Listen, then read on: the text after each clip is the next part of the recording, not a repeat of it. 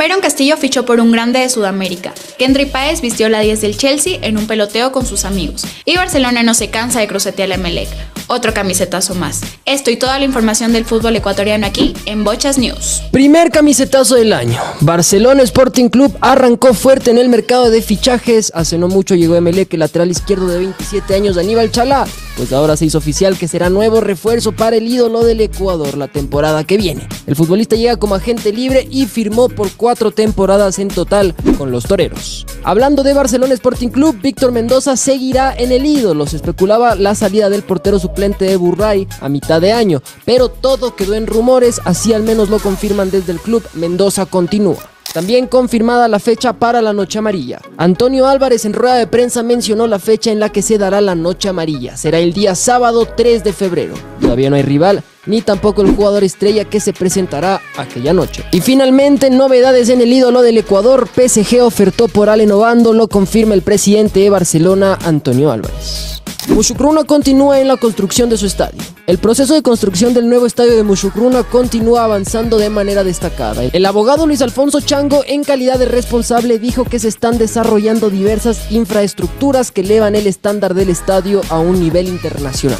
Entre estas mejoras se encuentran salas audiovisuales de última generación, un gimnasio de primer nivel para el acondicionamiento físico de los jugadores, una sala de reuniones para la planificación estratégica y un restaurante que brindará una experiencia completa para los aficionados. Señor Chango, usted es un genio. Leonardo Campana continuará en el Inter de Miami. Leo ha tomado la decisión de extender su estadía en Florida a por lo menos una temporada más. Fue sondeado y hubo un gran interés por parte del Cincinnati FC, también de la MLS. Sin embargo, continuará una temporada más junto a Lionel Messi. Subeldía no sigue en Liga de Quito. Isaac Álvarez, presidente de Liga Deportiva Universitaria de Quito, compartió sus reflexiones sobre la salida de Luis Francisco Subeldía como director técnico del Rey de Copas. Álvarez expresó su profunda gratitud hacia Subeldía y su cuerpo técnico y hacia todos los jugadores por sus contribuciones durante el año de 2023. Aunque intentó persuadir al profesor para que no se vaya y continúe, la decisión del entrenador de no seguir fue firme, pues como bien sabemos, él esperaba que continúe Esteban Paz. Enfatizando la temporalidad de las personas y la permanencia de las instituciones, Álvarez subrayó que, aunque Subeldía es apreciado, nadie es irreemplazable en esta vida.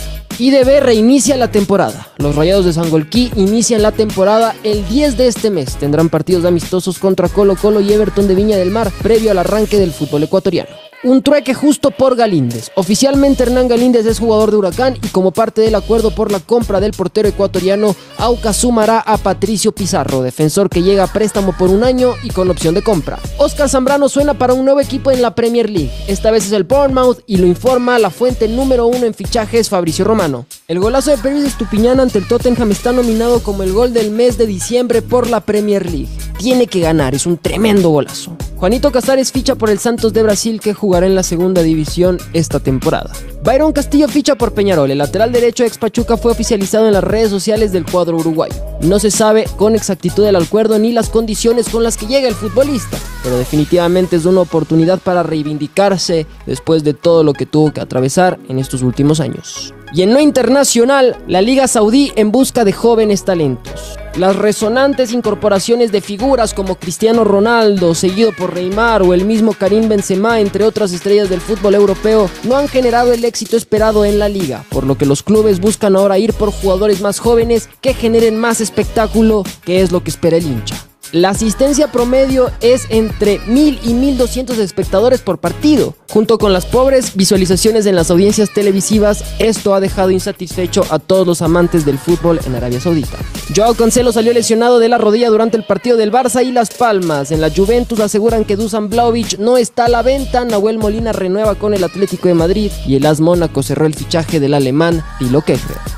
Y bueno gente, también queríamos contarles que desde hoy va a estar con nosotros Nani Vázquez, nos vas a estar acompañando en este 2024, qué emocionante tenerte por acá Nani. Así es, muchas gracias Bocha.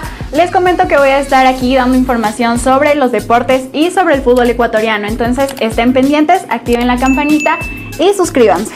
Así es muchachos, vamos con nuestros sponsors y pendientes al noticiero del día de mañana. Chau, chau. Chao. La Trivet, la mejor casa de pronósticos del Ecuador. En mi IG tendrás link para registrarte. Hase Evolution, indumentaria 100% ecuatoriana y de la mejor calidad. Acon Sports. Síguelos en redes y compra sus balones y equipos de entrenamiento.